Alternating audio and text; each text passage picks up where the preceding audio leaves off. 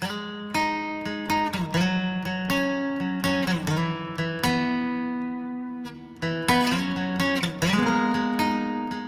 what up, everybody? Welcome back to The Anxious Truth. I am Drew Linsalata, creator and host of this fine podcast. This is episode number 178, 178, entitled The Three C's of Recovery.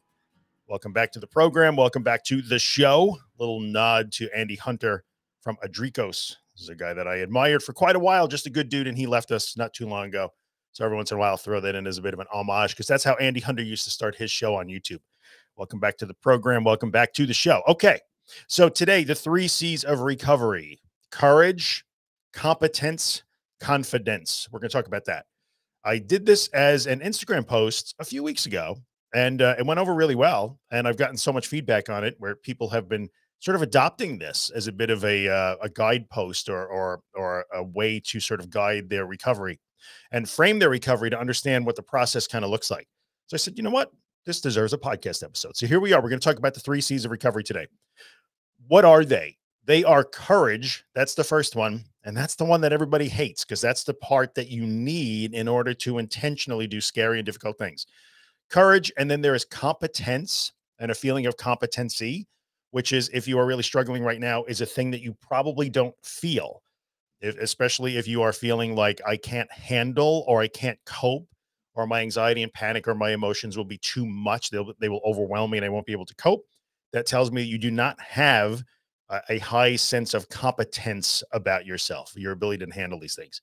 And then the third one is confidence, which kind of these these things all lead one after the other, right? So that's what we're going to talk about. These are three C's. So one does lead from the other. The first one, which is I know the one that everybody hates. So hang in there because everybody wants to get to confidence. I know everybody wants to get there. But we're going to talk about this in another podcast episode and in different forms of content on social media very soon.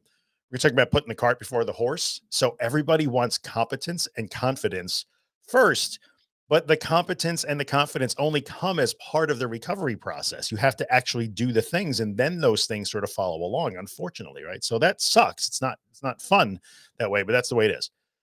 So in order to get the ball rolling, to head towards a feeling of competence and and a sense of confidence is that you have to exhibit the first C, which is courage. Now, here's the big misconception about courage. And, and I, I'm surprised at the number of people who still don't understand this. Courage does not mean that you are not afraid. No way, shape, or form does courage mean not being afraid. This has nothing to do. I want you to strike the word fearless from your from your vocabulary because none of recovery is about being fearless. Fearless indicates somebody who just he can squash their fear and run into the fire anyway. This is not that in any way. Like courage means that you are afraid, but you act anyway. And I know I've talked about this, I've written about this, but I'm going to have to keep saying it because I'm surprised at the number of people that say I'm not courageous. I'm very fear. I'm, I'm, I'm just afraid. I'm not brave. I'm always so afraid. Right. But brave people are afraid. Like courageous people are afraid. Courage is not not being afraid. And sometimes it's really a little bit frustrating and also very heartbreaking to see how many of you feel fear and then instantly declare that the presence of fear is a deal breaker. Like I cannot handle fear. So, you know, as, to kind of tie some of these things together, tie two of the C's together, some people feel that as soon as they feel fear, they have to hit the eject button because they don't feel competent in their ability to handle fear. So therefore they think that they have no courage. But really, I believe in my heart that everybody has courage. I really do. And I think part of it is understanding really that courage doesn't mean not being afraid. And I, I, truly believe that if you are going to insist to me, no, I'm not brave, I don't have courage, I'm not courageous, I think it means that you're just saying, well, but I feel, see, I can't stop this. I can't stop the fear. Well, no, you you won't stop the fear. Like you can courage doesn't stop fear. Courage is acting even though you are afraid. Right. So the first thing you have to do is, and I understand you're going to argue with this, like, but it feels so dangerous, but it feels so real. But not me, not any of my collaborators, not Claire Weekes, not Dave Carbonell, not Marty Seif, not Sally Winston, not any of the people that that you are taking your advice from. No one is ever telling you to do a dangerous thing, right? We would all be like kind of sociopaths if we were telling you to do dangerous things. So you're going to have to trust that even though you have to do scary things and difficult things, these are not dangerous things, even though they feel dangerous. But since they feel dangerous, this is where courage comes into the equation. You will have to find and display courage. Without that as a starting point, this thing starts to get really frustrating really fast, unfortunately. And I see it happen all the time. And, and to a certain extent, it happened to me too, a little bit. Like I had starts and stops in my recovery because I kind of resisted that, right? So it's totally natural and normal to say, I don't want to be afraid. Nobody wants to be afraid. No human being wants to be afraid. I mean, maybe there are outliers that sort of get a charge out of being afraid, but for the most part, we don't want to be afraid or uncomfortable. We want to feel safe and settled. So I get that. But courage is such a big part of this. Like you don't get to the other two C's, competence and confidence in your recovery, if you aren't willing to kind of find that first C, which is courage. So when people ask me again and again and again, okay, but how do I let go? But how do I surrender? But how do I float and accept? How do I willfully tolerate? Whatever you, the words you like to use that resonate with you. But how do you do that? But how, how, how? And after a little bit of back and forth, and you talk about some some philosophical stuff and some you know framing it and thinking about how to go about it and a little bit of technique here and there but in the end it does come down to yeah you're going to have to do it scared like so courage in our in our conversation means you're going to have to do this scared, at least to start. So you need a lot of courage, but for a short burst of time in the beginning, right? And then uh, trust me on this, you do not have to be superhero brave. And this is a thing I said, like, I believe in episode two of this podcast, which is years ago now in 2014. I think I said this. I, the episode I think is called Courage. Literally, it's entitled Courage. And you don't have to be superhero brave for the rest of your life. That's not how this works. This, I'm not saying that you are doomed to a life of, of just constantly pushing through terror and fear and just being courageous to get through every single day. That's not how this works. But you will need to be courageous in the beginning to get the ball rolling. And as you begin, begin to learn the lessons of recovery and understand that, like, oh, the bad thing never really happens. I can handle panic. I can do it. I can get through this. It doesn't hurt me. I don't have to fear it. Then the fear begins to recede as a happy side effect of that.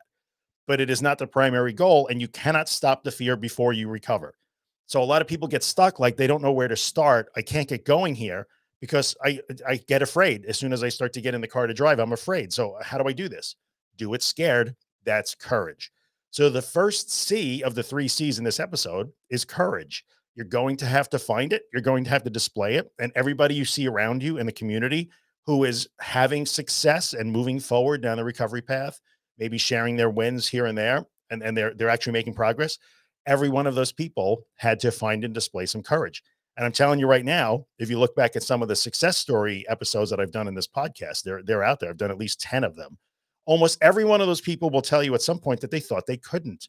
So everybody starts thinking either I don't want to, which I totally get, or no way, I'm not a brave person. I'm not a strong person. I can't do it. So many people start that way, but then they take the leap. Okay, I, am going to try this. I'm going to trust these people. I'm going to try it.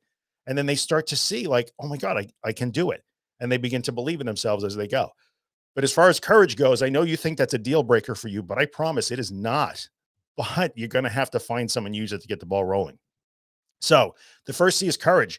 Courage is what allows us and propels us to do these hard and scary things that we have to do as part of the recovery process. So you're not going to start to feel competent to handle anxiety or panic or big emotions. You won't feel competent unless you begin to do the recovery things like go into them, go toward them, willfully tolerate them, surrender to them. And courage is what enables us or propels us into those activities. So courage then leads to having these experiences where we confront the fear and we navigate through it as opposed to running from it or trying to go around it or stop it from happening. So we use courage to move through the fear. And through that, we learn through repeated positive outcomes. And the positive outcome is it didn't kill me. I didn't go crazy. I didn't go insane. I don't care how much it felt like I was going to. For the thousandth time, I was sure I would lose control and I didn't. Right. So those repeated experiences that are carried by courage lead us to start to build a sense of competence.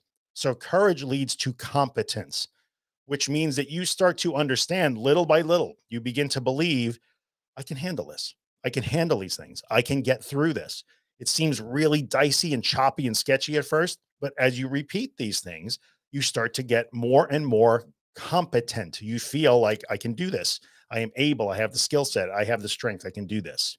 So courage leads to feelings of competence and an elevated sense of competence in your ability to recover and your ability to handle these things that have pinned you down and crippled you for so long. That's a big step. That's the second C. It's an important C.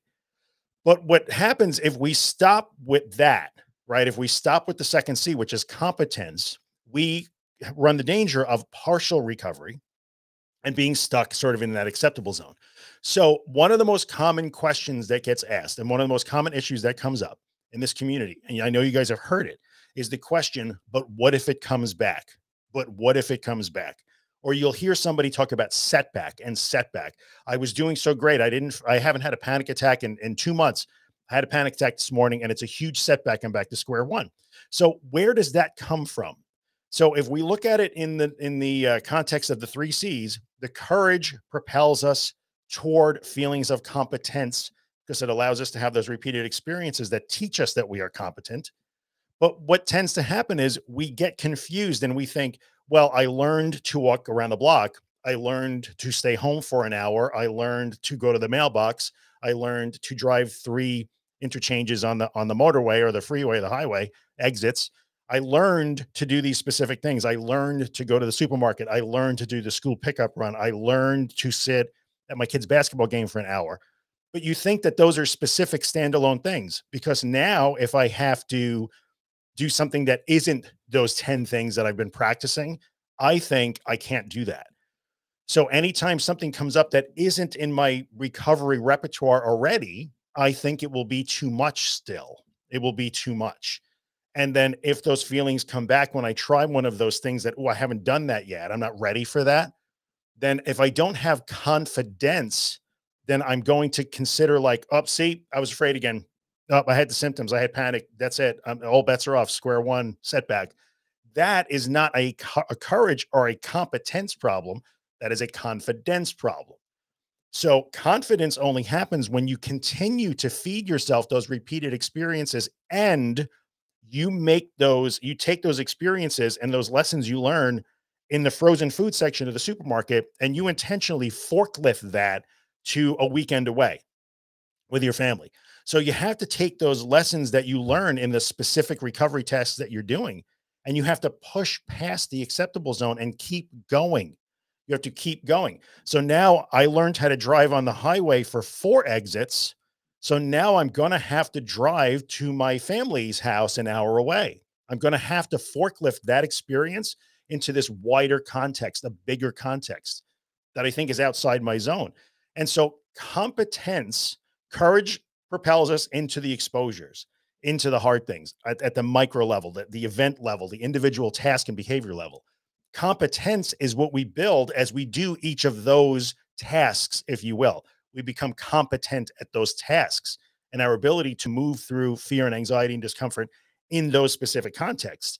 Confidence is what comes when you keep going and you start to push those boundaries and you don't stop at just the supermarket, the school pickup line, and two exits on the highway. You keep going. So when you discover, when you discover that, like, I can take the highway driving and I could transplant that and I could do the weekend away with my partner in the next town over or I could do a day at the beach, or I could do vacation, or I could do a cruise around the world, or I could change careers or buy a new house or move to a different country, whatever it happens to be. That's when confidence comes into play, right? So, one of the things we're going to talk about more and more is the width and depth of recovery. What we're looking for is not a focused recovery. We're not, recovery is not, I learned to go to the supermarket and shop and run my errands and drive my kids around.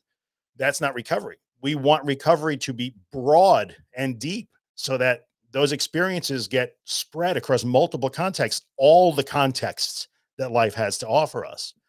And then we start to build confidence. So, competence in this context is doing these courageous things has taught me that I can do each of these things.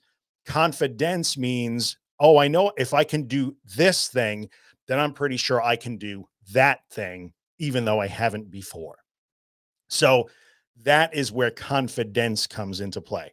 And this isn't perfectly linear. Do not get me wrong. All the time, you're building, you're flexing your courage muscle all the time when you do these things. You're building confid competence in each individual task that you do on a minute by minute, day to day level. You're building confidence in certain areas, but you're lacking in certain others. So it's not a straight line, right? This isn't like, well, first I have to build my courage, then I have to. It kind of is like that. But if you look at a granular level, you'll see that this is all happening at the same time all the time. But what we really care about in terms of the three C's is understanding what courage is. I'm going to have to do things when afraid, and I'm not a failure because I'm afraid. Courage is acting even though I am afraid. We have to understand that first and do that and start to do those things that we that we are resisting doing. We build competence in the repetition of doing those tasks and we feel like, oh, I can handle that task and that task and that task.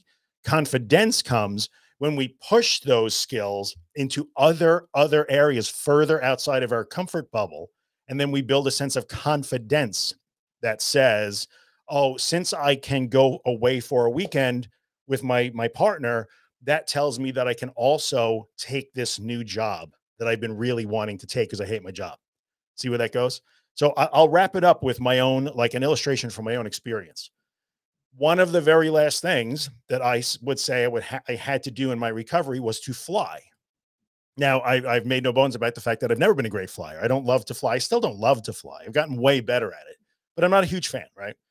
So I hadn't flown in a very very long time. And prior to like the last time the wheels fell off for me with anxiety, I hadn't flown for many many many years, and I was a terrible anxious afraid flyer when I did.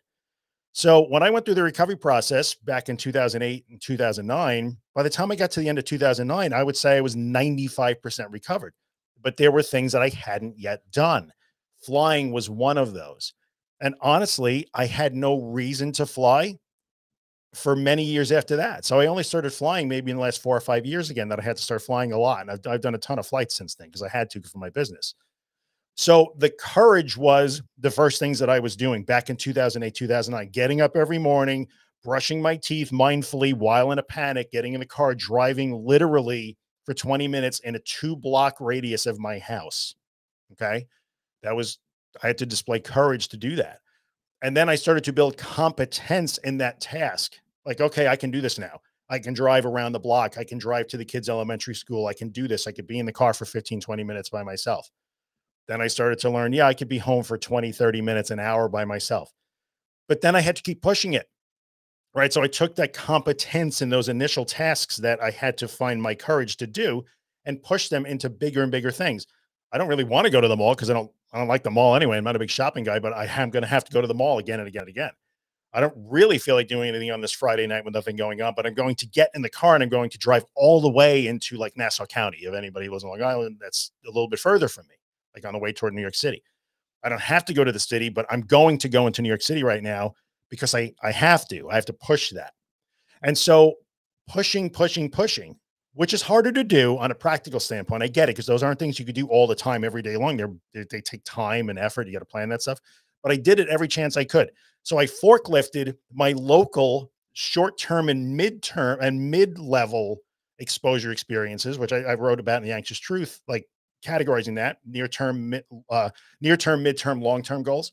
So I took my my near term and, and midterm exposure goals and recovery goals, and I intentionally spread them and forklifted them into bigger things outside of my bubble.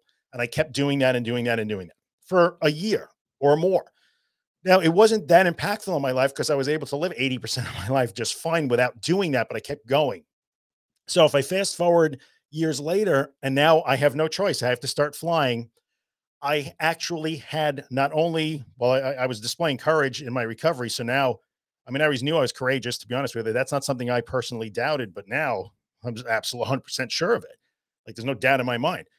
But I took the competence that I had built with those early exposure tasks and I built my sense of confidence so that when it was time for me to start going back into New York City, for instance, for various reasons, social, pleasure, business, whatever it was, I was nervous because I hadn't done it in a very long time, but I wasn't terrified because my confidence level was up. And I said, well, I even I haven't been to the city yet, but I know I can do that.